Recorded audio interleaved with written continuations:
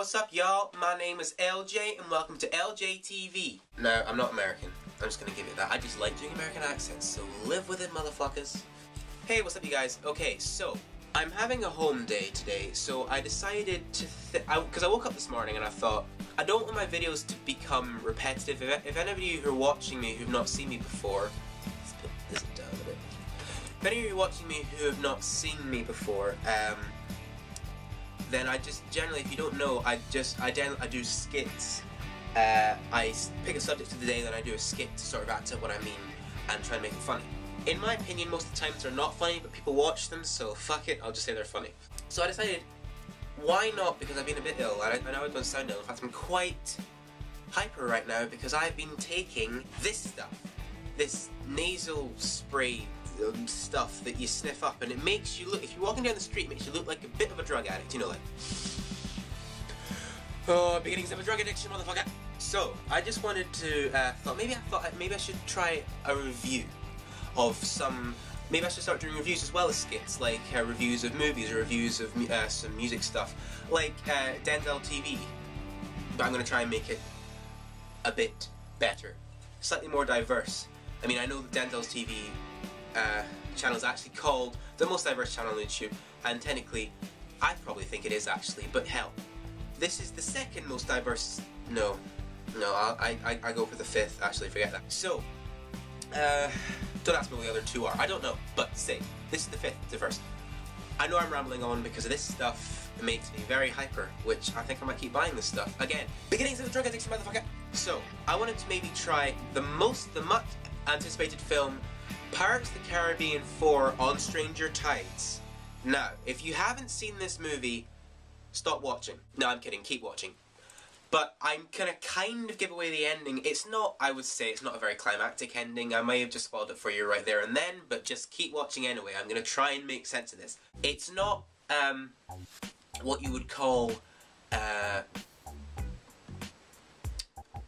amazing, but it's not what you would call terrible. Now, if you live in Scotland and you read the Scotsman newspaper, it was fucking crucified. One star. Abandoned ship was the headline. Crucified. I don't quite know why that is. I think one star was a bit harsh. Whoever wrote them, I might just go and strangle. Pirates of the Caribbean 4 on Stranger Tides. Not a bad movie. I would say the trailer was very misleading. It was a pretty misleading trailer. Bad guy, as we all know, is Blackbeard uh, played by Ian McShane, who did a pretty good job. I think it was it was pretty fierce, pretty fierce pirate. Johnny Depp, as we all know, plays the. Uh, oops! I just threw the nasal spray at my laptop screen. No damage. It's good. So yeah, Jack Sparrow, Johnny Depp, who, by the way, if you if you don't know me, and I might not have said this before in any of my videos, Johnny Depp is my hero. Somebody, my dream is to act alongside him because uh, I want to be an actor. My dream is to act alongside Johnny Depp because I think he's just brilliant. So we've got Johnny Depp, Mr. Gibbs is back. We don't have Elizabeth and Will, which to be quite honest, I think is fine. I think they probably could only have done one, two, and three. I don't think they had a fourth in them. I think obviously Jack did because if they didn't have Jack, then it wouldn't be the movie. That's the thing about Jack. He's indispensable. If you do it, if you obviously you'll know this. If you if you do a movie without the guy who's made it the most success of it for the past however many years and you do a sequel and it's not he's not in it or it's another actor playing him it's not as good because Johnny Depp as we know is the king of of diversity. So we've got him uh, we have this new guy uh, this god-fearing guy whose name actually escapes me at the moment. Uh, one thing I thought was a bit too far with this movie was the mermaids thing. This is sign was for mermaids, just go with it. So yeah, that I didn't quite, I mean, I think it's okay because they've had quite a lot of supernatural things going on in Pirates of the Caribbean, obviously with the Curse, the Flying Dutchman, the Davy Jones tentacoliness stuff, the Calypso Goddess thing. Now, if you've not seen Pirates of the Caribbean, stop watching this video because A, if you haven't, then I will just fall on the ground and die you should have. Everybody's seen Pirates of the Caribbean. If you've not seen it, go and watch 1, 2 and 3 and go and see 4. They're all worth watching, trust me. Second, mm, guys, I don't know. That's what that's what I say when I'm not sure of things. So, the story is you've got uh, Jack Sparrow uh, hunt, uh, hunting for the Fountain of Youth, and you've and it's kind of a race against time because you want um, Jack going after it, and so is Blackbeard, and so Penelope Cruz is in it as well, and she's pretty good in it. Um, I don't want to give too much away, but uh, Penelope Cruz gets the Fountain of Youth in the end, and Blackbeard dies, and Johnny Depp escapes as always.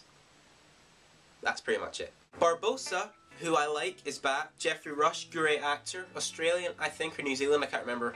Leave a comment saying the right country, I, I've forgotten. He has a wooden leg so he's kind of like Long John Silver from Treasure Island, which, if, which is if you've not seen, go watch that too. Which I when I saw it in the trailer, I was like, oh, it's turning into this classic pirate stuff because you had an eye patch in At World's End with Ragetti, the guy with the eye, which I thought was fine because he wasn't. It was a bit weird him wandering around with only one eye.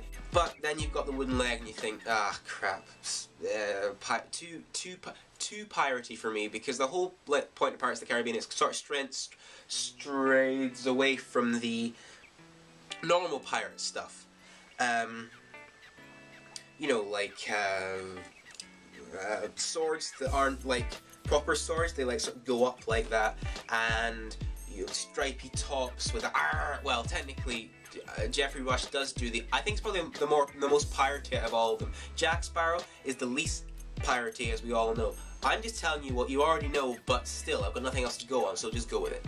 The Black Pearl uh, is is sunk by, I think it was Blackbeard, I think it was Blackbeard. Um, yeah, it was, yeah, because Barbossa kills him in the end, so it was revenge.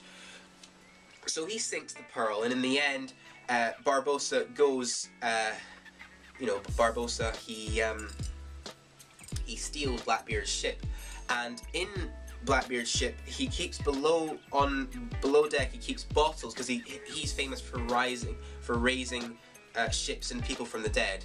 Uh, and he has this sword which controls his ship.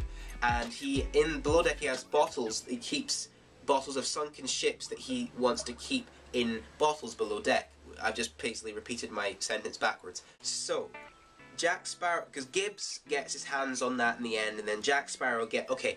So everything's happy pretty much in the end. So, I'm gonna give you my overall verdict on this movie. It wasn't as bad as I thought it would be, given that I'd read the reviews before I went to see the movie. But because I like Johnny Depp, I'd go and see anything with him in it, regardless of whether it's shit or not, because that's how much I love him. I live him. I love him. I thought it was better than I thought it would be. It kind of went down the supernatural road a bit too much with the mermaids and all that stuff. Um, the acting, as far as any Pirates of the Caribbean film goes, really, really good. It was a different director this time, which could have been, obviously different ideas, different people. So, different people, different ideas. So, you've got that Rob Marshall, I think his name is. If you didn't enjoy the trailer, I would I would suggest going to see it anyway because some of the stuff is a bit different to what's in the actual trailer. The trailer is actually quite misleading, which kind of annoyed me, sort of.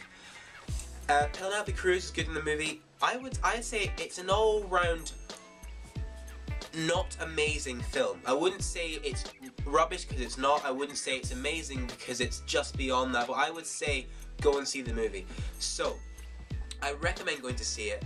Uh, and the acting's great. Everything's pretty good. The story could do with a little more work because it's it's a bit too much of the supernatural route to to the point where it, it becomes a bit annoying because you've got you know the whole Tear of the Mermaid and the two cups and the and the whole fountain of eternal life to blah, blah, and it gets a bit annoying.